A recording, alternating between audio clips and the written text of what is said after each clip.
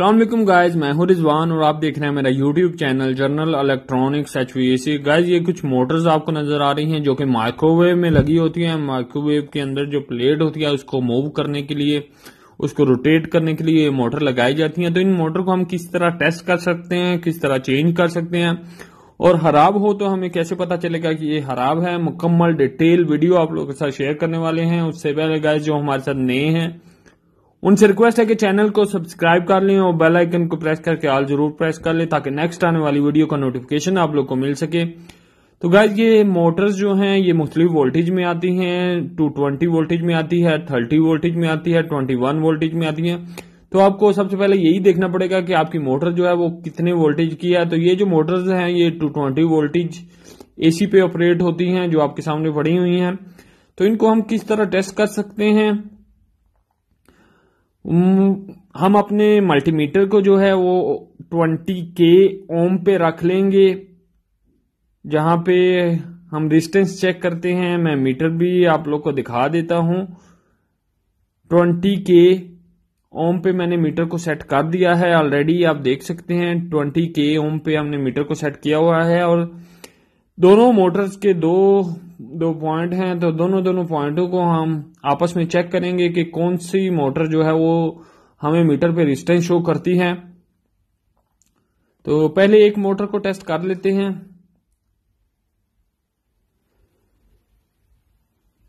सबसे पहले हम ये जो मोटर है, इसको दोनों पॉइंटों पे अपनी लीड लगा दिए हैं तो हमारी मोटर जो है वो कोई डिस्टेंस शो नहीं कर रही। इसका मतलब ये मोटर खराब है।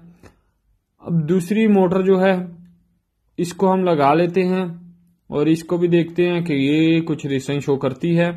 तो जी, ये वाली मोटर जो है, ये 6.46 रेजिस्टेंस शो कर रही है। इसका मतलब ये हमारी मोटर है, इसकी वाइंडिंग जो है वो सही है। और जो मोटर रिस्टेंस शो कर उसका मतलब हमारी मोटर की वाइंडिंग सही है।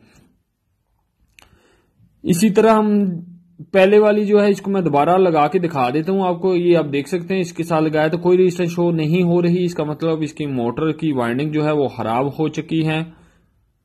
अब मैं इसको बजर पे कर लेता हूँ। तो बजर पे हम काफ़ी सारी चीज़ें, काफ़ी मोटरें की वाइंडिंग टेस्ट करते हैं। तो इस मोटर की वाइंडिंग आप बजर पे टेस्ट नहीं कर सकते। आप देख सकते हैं, आपको आवाज़ आ रही है। हमने मीटर को बजर पे किया।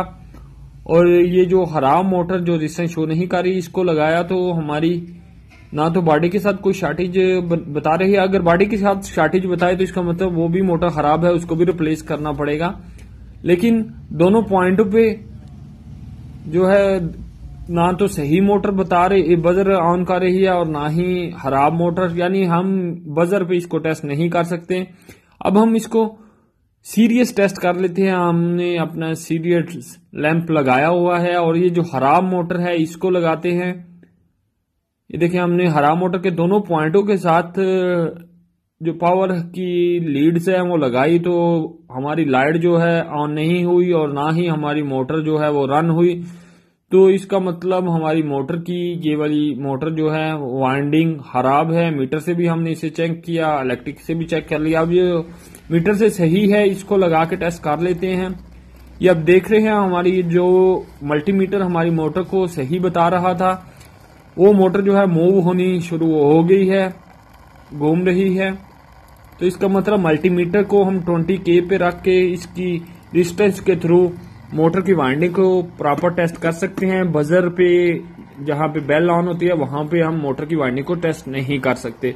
अब किस तरह हम इसे माइक्रोवेव में लगाएँगे, वो भी आप लोग के साथ शेयर करने वाले हैं। ये एक माइक्रोवेव है, इसकी मोटर हमने ऑलरेडी निकाली हुई है, क्योंकि इसकी मोटर खराब हो चुकी थी।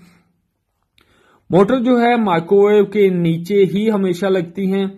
तो नीचे एक कवर बना होता है, मैं आप लोग को दिखा देता हूँ।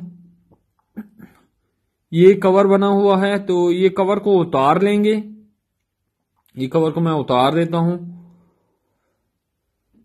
और अंदर से आप लोग को दिखा देता हूँ, जहाँ पे मोटर लगी होती है। तो कवर मैंने उतार दिया है, यहाँ पे हमारी मोटर जो है फिक्स होती है। ये वाली कवर जो है, ये एक स्क्रू से सिर्फ़ फिक्स हो जाता है तो यहाँ पे मोटर फिक्स हो, होती है। मैं आपको मोटर फिक्स करके भी दिखाता हूँ। ये एक नई मोटर हम लोग लेके आए हैं।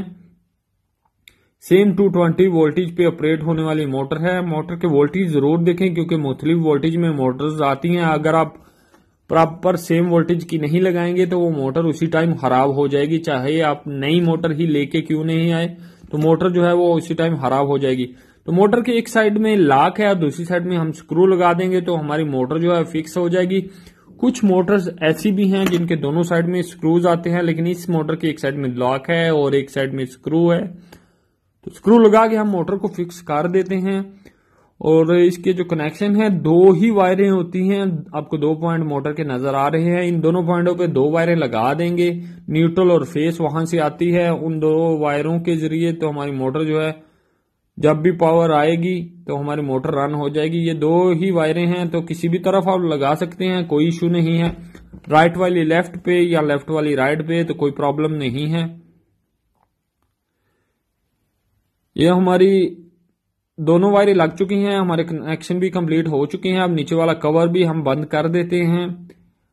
ये दो लाख होते हैं, ये दो लाख लगा के एक साइड में स्क्रू है तो वो लगा देंगे तो हमारा कवर जो है वो फिक्स हो जाएगा। ये लाख प्रॉपर हो चुके हैं और अब हम इसका स्क्रू लगा देते हैं। तो हमारा माइक्रोवेव का जो कवर हमने मोटर रिमूव करने के लिए, लगाने के लिए निकाला हुआ था, वो भी लग जाएगा। और अब हम इसको ऑन करके दिखाते हैं। आपको ऊपर एक प्लास्टिक आता है, जो कि मोटर के शॉफ्ट के ऊपर जाके लग जाता है, जिसके ऊपर हम प्लेट लगते हैं, रखते हैं और मोटर हमारी जो है वो उस प्लेट को मूव करती है। तो हमने माइक्रोवेव को ऑन कर दिया है। हमारी जो प्लास्टिक है, उसने मूव करना शुरू कर दिया है। ग्लास जो सामने आपको माइक्रोवेव का नज़र आ रहा है, वो रिफ्लेक्टेड रिफ्लेक्ट कर रहा है। इसलिए हम माइक्रोवेव के अंदर नहीं देख सकते। तो हमारी मोटर जो है, वो मूव करनी शुरू हो गई है। तो गैस इस तरह हम मोटर चेंज कर सकते हैं टेस्ट कर सकते हैं। वीडियो अच्छी लगे तो लाइक ज़रूर करें और दूसरों के साथ शेयर भी करें। थैंक यू गाइज़ अल्लाह हाफिज.